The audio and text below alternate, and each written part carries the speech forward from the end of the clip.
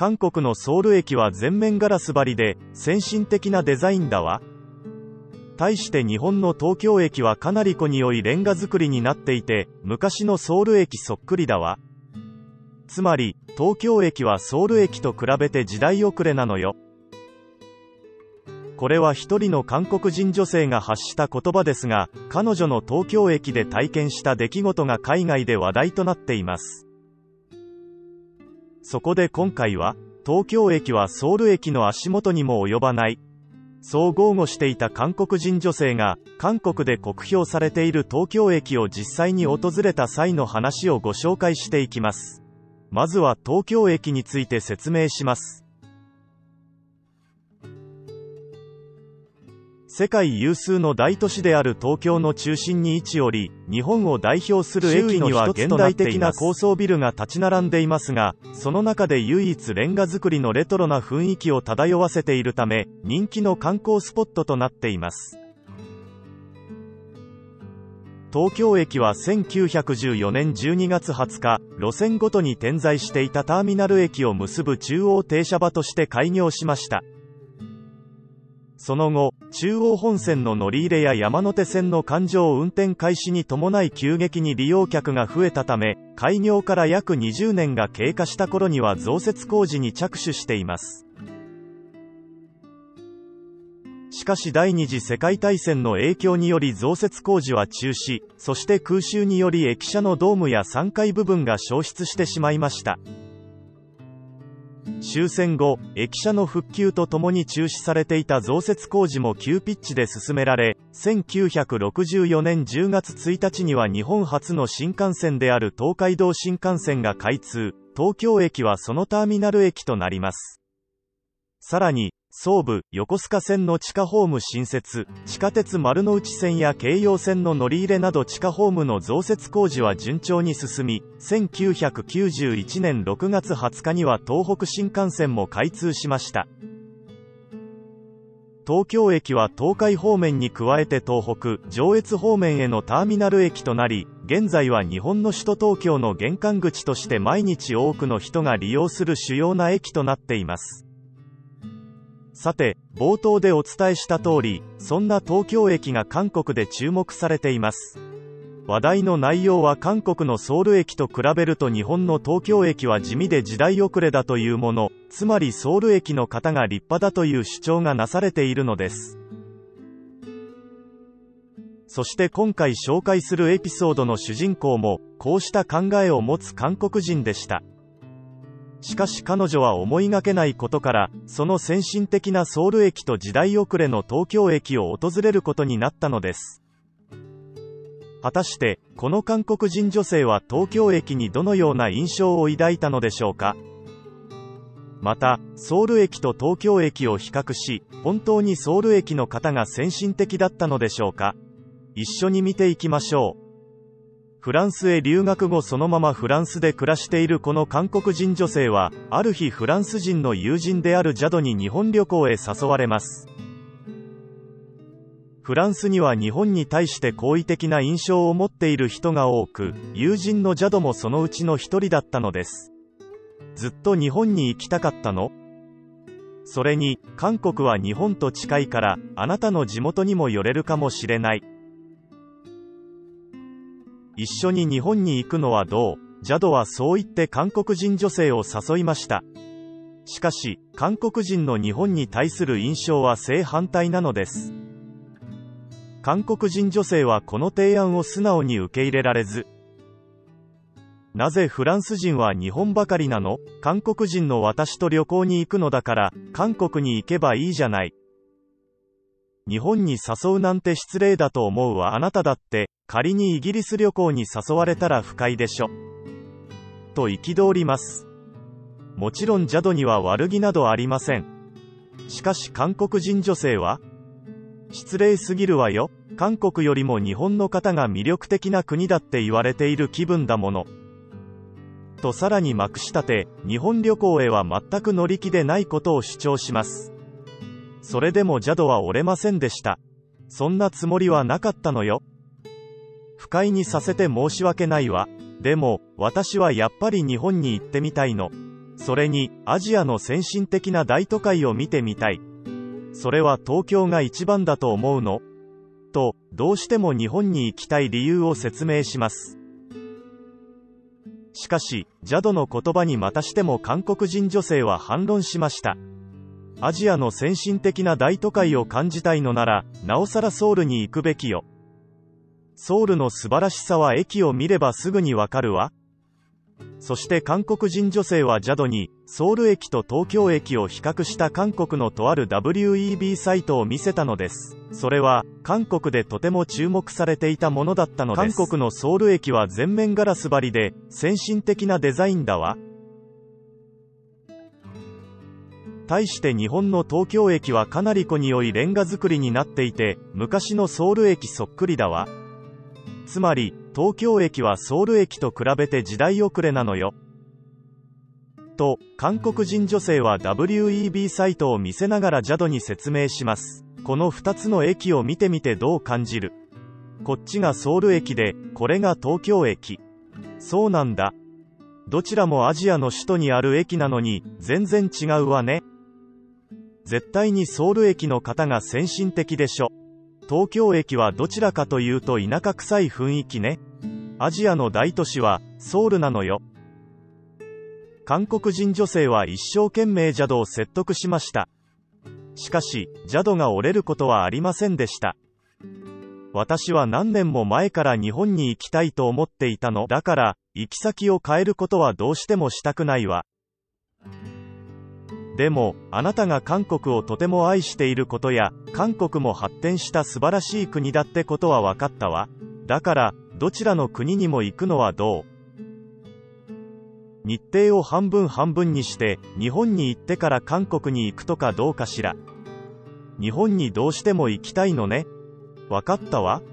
じゃあそうしましょう。両方行けば、どちらが先進的な国なのかがわかるはずよ。こうして、2人の韓国、日本旅行が決まりました。旅行が決まった瞬間、韓国人女性はなんとなく複雑な気持ちでいましたが、出発する日が近づくにつれて彼女はだんだん楽しみになりました。韓国に行けることにワクワクしたわけでも、日本に行くことが楽しみになったわけでもありません。日本よりも韓国が優れていることをジャドに見せることができる、それが嬉しくてたまらなかったのです。しかし実際に東京を訪れてみると、韓国人女性のこうした期待はあえなく裏切られました。旅行当日、彼女たちは長いフライトを経てようやく日本へ着きました。フランスから日本へは半日ほどかかるため、日本に到着した頃には2人とも疲弊しています。しかし、彼女たちの宿泊するホテルは東京駅の近くにあるため、空港からも移動しなければいけません。そして、成田空港から東京駅までは電車でさらに1時間程度かかります。また長い間じっと座っていなければならないと思うと、2人は億劫でした。しかし、空港に降り立ってから東京駅へ到着するまでのこの数時間で、彼女たちは疲労を忘れるほどの感動を日本で体験することになるのです。実際、疲れているはずのジャドは移動中ずっと興奮していました。この空港、とても綺麗だね。こんな清潔な空港は初めて見たわ。それに、列車を待つ人が整然と列を作るなんて他の国ではありえないわね。さすが日本人。この高速列車も快適すぎるわ。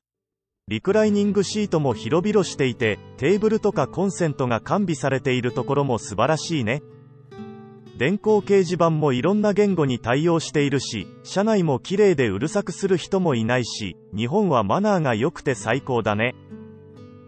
韓国人女性はジャドのように日本の素晴らしい点を言葉にすることはありませんでしたが、彼女も内心では似たような印象を受けていたようです。そして、快適な高速列車に乗ること1時間。彼女たちは無事に東京駅に到着しました。初めて目にした東京駅の様子に、韓国人女性の心の中には予想していたよりもすごいかもしれないという衝撃と不安が入り混じります。そして、ジャドは東京駅にとても感動していました。素晴らしいわ。東京駅も空港と同じでかなり綺麗だし、とても広いね。いろいろな商業施設とつながってるし、ここだけでも十分に楽しめちゃうわ。ジャドの言葉通り、東京駅は想像していた以上に大きく、様々な商業施設を備えたまさにメガステーションでした。韓国人女性の不安はさらに大きくなります。東京駅はとても素敵ね。写真を見た時の印象と180度違うわ。ホテルに行く前に、この辺で少し遊ぶのはジャド、どうしちゃったのよ。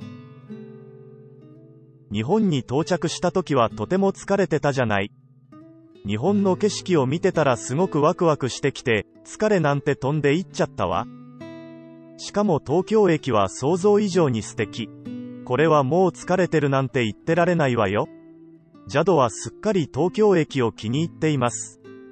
焦った韓国人女性は、もうこうなったら東京駅の外観を見せるしかない。あの時代遅れの東京駅の外観を見せれば、ジャドの中の東京駅のイメージは変わるかもしれないと考えました。ジャド、商業ビルに入る前に東京駅の外観を見てみない。外からの方が駅がよくわかるし、記念写真も撮りやすいと思うわ。外観か、確かにそうだね。じゃあ外に行ってみましょう。韓国人女性は急いでジャドを外に連れ出しました。しかし、この作戦は大失敗になります。東京駅の外観は確かに古く感じましたが、それは決して彼女たちにネガティブな印象を余えなかったからです。わあ、素敵だわ。写真なんかより何倍も素敵ね。レトロだけどおしゃれな感じがするわ。そうね。しかも、外に出ると余計に大きく感じる。とても立派よね。写真で見た時は、貧相な雰囲気だったのにね。ええ。でも、東京の大都会という雰囲気が東京駅をより際立たせているわね。先進的な高層ビルがたくさんある中で、このレトロな建物がすごく映えてるわ。韓国人女性はもう、呆然とするしかありませんでした。東京の街はソウルとは比べ物にならないほど近代的で、彼女の想像をはるかに超えていたのです。東京駅は素晴らしいわ。前に見せてもらったサイトの写真は、写し方が悪いだけね。ええ、確かにあれは良くないわ。でも、これでますます今回の旅行が楽しみになったわ。東京がこんなに素晴らしい街だったなんて。しかも、ソウルもこれに負けないくらい素晴らしいのよね。そう考えると余計楽しみになってきたわ。韓国人女性はジャドの言葉を聞いて、自分のこれまでの発言を後悔していました。韓国で話題になったあのソウル駅と東京駅の比較サイトに、どのような意図があったかはわかりません。しかしこの韓国人女性と同様に、比較サイトを見て東京駅に誤ったイメージを持つ韓国人は多いでしょう。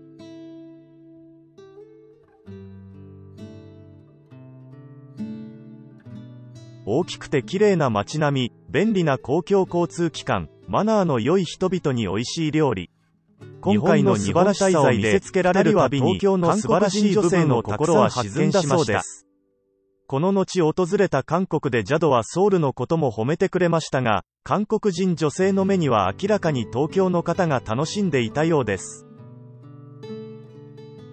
ちなみに、この韓国人女性が東京駅に似ていると言っていた昔のソウル駅は、東京駅を設計した辰野金吾の弟子、塚本康によって作られました。指定関係にある2人が設計した駅舎なので、似ているのも納得ですね。韓国人女性は今回のジャドとの旅行で、東京とソウルの違いをいろいろと見せつけられました。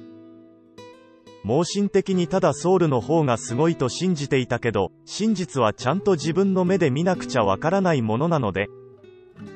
今回の旅行について、彼女はこう締めくくったと言います。最後に、東京駅の素晴らしさには海外からもたくさんのコメントが寄せられていますので、その一部を紹介します。もし東京に行くことがあれば、東京駅に行くべきだよ。他の駅と違って赤レンガ造りのクラシックな駅です。非常に素敵だよ。東京駅はとても洗練されていて、一流の雰囲気がありました。最先端のショップやレストラン可愛らしいお土産屋がたくさんあり雨の日にショッピングするにはまさに理想的だと思います混雑していたにもかかわらず東京駅には秩序がありました公共のトイレも印象に残ってる。すごく清潔だし何よりウォシュレットを発明した日本は最高だと思いました。日本が懐かしいよ。日本の食べ物は本当にうまい。東京駅にも行ったことがあるけど素敵な駅だったよ。以上が海外の反応です。韓国ではレンガ造りの東京駅とガラス張りのソウル駅を比較してソウルがより先進的な国であると主張する WEB サイトが話題となっていました。その結果韓国ではソウルが優れた都市だと誤解する人が相次いだそうです。大きな都市の一部分のみを他と比較して優劣をつけることは難しいですし好ましくないですね。ただ今回紹介した韓国人女性とその友人ジャドは少なくともソウルよりは東京の方が先進的だと感じたようです。今回はここまでです。この動画が良かったら高評価チャンネル登録をよろしくお願いします。皆さんの意見や感想もコメント欄でお待ちしております。そして皆さんの応援が励みになります。また次の動画でお会いしましょう。